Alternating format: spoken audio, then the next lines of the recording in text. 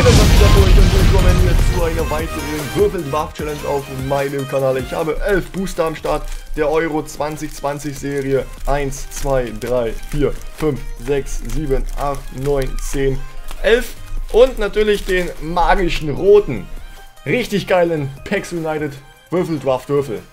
Würfeldraft Würfel, hört sich komisch an, aber ist einfach mal so, das muss man so sagen, Leute. 11 Booster, let's go. Ihr könnt direkt am Anfang des Videos ein Däumchen nach oben da lassen, würde ich mich sehr darüber freuen. Und wenn ihr noch nicht Abonnent seid, könnt ihr natürlich auch kostenlos meinen Kanal hier auf YouTube abonnieren. Let's go, Leute. Wir starten rein. Ihr wisst, das, ihr wisst ja, wie der Hase läuft. Ich erkläre nochmal für diejenigen, die vielleicht neu einschalten. Ähm, ich würfel elfmal.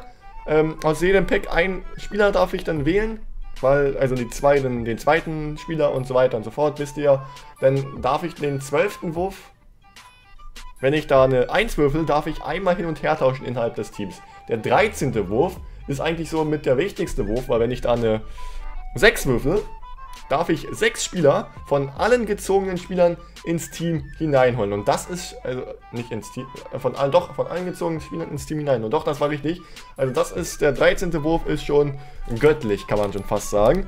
Und wir starten mit Wurf Nummer 1. Und wir machen es so, dass der äh, erste Spieler nicht automatisch der Keeper sein muss, sondern ich kann auch den ersten Spieler in den Sturm stellen. So. Kommt darauf an, welchen Spieler ich halt treffe. Die 4. Die Nummer 4. Am besten ist es immer, wenn man die 2 trifft, weil dann hat man immer die Powerkarte. Hier in diesem Fall, okay, ja, Johnny Evans hätte ich jetzt nicht unbedingt mir gewünscht. Florenzi haben wir jetzt getroffen, Alessandro Florenzi, und den stelle ich hier als Rechtsverteidiger auf. Dann haben wir Forrest und Sorlot. Ja, also das Pack war jetzt nicht so. Orban vielleicht könnte man am Ende nochmal hineinholen ins Team, aber ansonsten haben wir eigentlich schon mit einem der besten getroffen, mit Florenzi. Florenzi, Florenzi. So, Nummer 5. Also, wir starten mit Hakan Çalhanoğlu. Dann haben wir das Schweden-Mannschaftsfoto. Dennis Zakaria, Alexandro Maxim und Ryan Fraser. Fraser, Baser, ich weiß nicht, was das für ein Spieler ist. Ist das linker Mittelfeld, rechter Mittelfeld, ZM, die Nummer 11. Aufgrund dessen, dass er die Nummer 11 hat, glaube ich, dass es ein linker Mittelfeldspieler ist. Sage ich jetzt einfach mal. Komm, dann stelle ich ihn ins linke Mittelfeld, dem Fraser Baser. Und dann spielen wir heute einfach mal 4-4-2, würde ich sagen. Ja, wir spielen heute 4-4-2. Was anderes bleibt mir nicht übrig. Ihr seht den Würfel nicht, ich schiebe ihn nach oben. Ihr seht ich habe nur einen Finger benutzt. Es war wieder die 5. Die Nummer 5. Oh, Bella, Bella, Bella. okay, jetzt reicht's. Jetzt reicht's aber. Tamas Kada. Dann haben wir Tierney, Golaji, Bolat, Yunus Mali und Quincy Promise. Ja, waren eigentlich auch nicht so. Quincy Promise hätte ich vielleicht lieber genommen, aber jetzt habe ich halt Yunus Mali getroffen. Wo spielt Mali eigentlich? Das letzte Mal, als ich Mali gesehen habe, hat er bei Wolfsburg gespielt. Spielt er immer noch bei Wolfsburg? Oder spielt er jetzt bei, nee, bei Mainz war er auch, glaube ich, ne? Mainz, Wolfsburg, ich habe keine Ahnung, wo, wo jetzt Yunus Mali spielt. Da bin ich ehrlich, ehrlicherweise überfragt. Real Talk. Nächster Wurf haben wir die 2. Die Nummer 2. Und die Nummer 2 ist die Powerkarte. Und die Powerkarte ist Torosides, Innenverteidiger, griechischer Innenverteidiger. Ich denke mal, damit hat sich das Ganze schon. Also nicht erledigt, das Team Andre Duda, Duda, Duda, Duda, Day, Duda, Duda, Duda, Day, Duda, Duda, Duda, Duda, Duda, Day, Duda, Duda, Day, Duda, Duda, Day, Duda, Duda, Day, Andre Duda, Duda, Day, Duda, Duda, Day, Andre Duda, Day, Andre Duda, Day. Okay, jetzt reicht's. Nächster Wurf haben wir die 3. Aber der Duda-Song ist echt geil, muss ich sagen. Duda Day. So, wen werden wir hier treffen? Robbie Brady. Dann haben wir Rodrigo. Und nochmal Rodrigo. Einmal Powerkarte, einmal Basekarte. Rodrigo kommt hier in den Sturm und wir verpassen hier Gareth Bale. Jesse Lingard. Also das war ein Pack, wo man durchaus bessere Spieler hätten, hätte treffen können. Hätte, hätte, Fahrradkette. Wir machen weiter mit der Nummer 2. Die Nummer 2, die Nummer 2, die Nummer 2. Das ist natürlich eine schöne Powerkarte Raheem Sterling. Und der passt doch hier schön ins rechte Mittelfeld. Oh yeah. Cancelo. Alderweireld und Jakub Jankto. Jankto! Ups, ich wollte schon fast das nächste Pack öffnen. Ich muss ja erst würfeln. 5. Ich treffe immer nur die 5 oder die 2. Kann das sein? Patrick Schick, Larsson, Asensio, Wilhena und Kaspar Schmeichel, der alte Kollege. Kaspar Schmeichel, zack, haben wir wenigstens schon mal einen Keeper. Das ist sehr, sehr, sehr, sehr, sehr, sehr gut. Und umso mehr Spieler wir im Team haben, desto schwieriger wird es, die Spieler auf die richtige Position zu stellen. Ist ja logisch. So, nächstes die 3.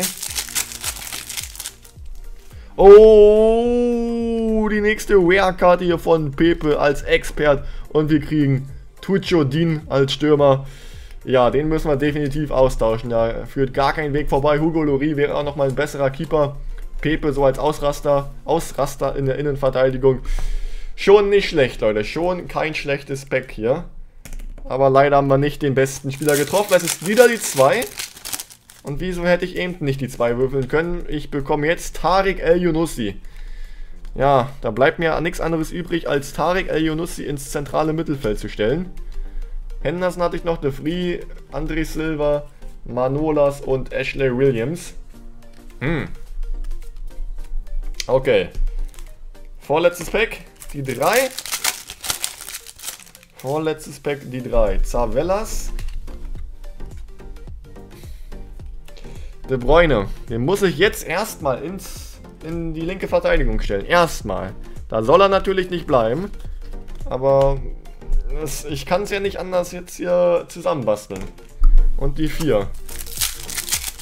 Und deshalb wird ja der zwölfte Wurf halt auch wichtig, dass ich jetzt De Bruyne ins zentrale Mittelfeld stellen kann. Walker Sillison kriegen wir. Jasper Sillison als Rechtsverteidiger. Eieiei, Rechtsverteidiger würde ich gerne Kai Walker haben. Innenverteidiger Hummels oder so. Okay, Leute, wir haben richtig viele gute Spieler gezogen. Ich hoffe, dass jetzt die nächsten zwei Würfe gut werden. Der nächste Wurf muss jetzt nicht unbedingt gut werden, aber der 13. Wurf kann gerne mal diese Zahl sein. Da hätte ich überhaupt nichts dagegen. So, schauen wir mal. 12. Wurf, wie oft darf ich hin und her tauschen? Wie oft darf ich hin und her tauschen? Dreimal. Dreimal, das heißt, El Yunussi erstmal in die linke Verteidigung. Ich hoffe, dass ich den dann umtauschen kann noch am Ende. So, dann passt das erstmal mit der Bräune Mali. Müsste ich jetzt nicht unbedingt tauschen. Ach, Florenzi ist ja Rechtsverteidiger, Leute. Florenzi ist ja der Spieler, den ich als erstes hingestellt habe. Dann muss das so sein. Äh, kann man jetzt als Tausch zählen. Mehr muss ich auch nicht tauschen, Leute. Mehr muss ich auch nicht tauschen. So lasse ich das. Weil der 13. Wurf, der 13. Wurf ist jetzt deutlich, aber wirklich so deutlich, deutlich, deutlich wichtiger als dieser eben geworfene Würfel. Ich hoffe eine 6 oder eine 5. Eine 6 oder eine 5. Zählen wir mal durch, wie viel bräuchte ich denn? Also auf jeden Fall 1, 2, 3, 4. Also 4 wären nicht schlecht. 4 wären das Minimalste. Jawohl, jawohl, Leute. Ich zeige euch. Äh, ich, ich berühre nichts, Leute. Ich habe gewürfelt. Ich schiebe die Kamera nach rechts. Ihr seht die 5, die 5. Wir haben eine 5 getroffen. Ja, Wolski, Mann. 5 Spieler können wir jetzt ins Team hineinholen. Also safe Ne, nicht Walker. Aber Hummels. Hummels kommt rein für Citizen. Zack, zack. Eins. Dann brauchen wir zwei ordentliche Stürmer. Zwei ordentliche Stürmer. Wir könnten auch Pepe eigentlich nehmen für... Aber erstmal erstmal Stürmer, Leute. Stürmer sind wichtiger. Weil ich habe vorne halt zwei, die ich nicht so feiere. Bale muss eigentlich in den Sturm. Zweiter Tausch. Ich könnte auch Bale und Rodrigo spielen lassen. Wenn ich jetzt hier keinen anderen... Ich glaube, ich habe auch keinen anderen besseren Stürmer. Ne, ich, ich lasse Rodrigo spielen, weil Rodrigo ist jetzt auch nicht so verkehrt. Wie mache ich das noch? Dann mache ich... Äh, Walker. Kai Walker kommt in die linke Verteidigung. So, das ist jetzt der dritte Tausch gewesen. Zweimal darf ich noch. Entweder nehme ich jetzt hier noch Hugo Lori mit. Oder ich tausche Pepe gegen Torosides aus. Das könnte man machen. Lori könnte man austauschen. Ascension könnte man reinholen für Mali. Und ich glaube, das war es auch. Ne, ne, die anderen. Ne, also, ja. Entweder ich habe jetzt einmal, zweimal, dreimal getauscht. Zweimal darf ich noch. Torosides. Ne, Leute, Torosides stelle ich raus, weil Kaspar Schmeichel, finde ich, ist gut. Und dann hole ich nochmal Asensio rein für Yunus Mali. So mache ich das, Leute. Das ist mein Würfelt Waff Team. Bewertet es mal unten in den Kommentaren von 0 bis 10 Punkten. Mir hat es mal wieder richtig viel Spaß gemacht, mit dem Würfel hier ein schönes Team zusammen zu basteln. Und wenn es euch genauso viel Spaß gemacht hat, lasst ein Däumchen da, lasst ein Abo da. Wir sehen uns dann ja bei der nächsten Folge, beim nächsten Video wieder. Ähm, was gibt's noch zu sagen? Eigentlich nichts, Leute. Schöner Bale vorne im Sturm, Rodrigo, ein Fraser, Asensio, De Bruyne, Sterling, Walker. Äh, ich könnte eigentlich nochmal Walker und Florenzi tauschen, weil ich habe ja eigentlich nur zweimal getauscht. Aber nee, nee, nee, das ist nicht nach den Regeln, weil der zwölfte Wurf sagt ja aus, wie oft ich tauschen darf. Also lasse ich das alles so, Leute. Bewertet das Team 0 bis 10 Punkte. Ihr wisst, wie der Hase läuft. Ich bin jetzt hier raus. Wir sehen uns beim nächsten Video. Und haut rein und Tschüssikowski.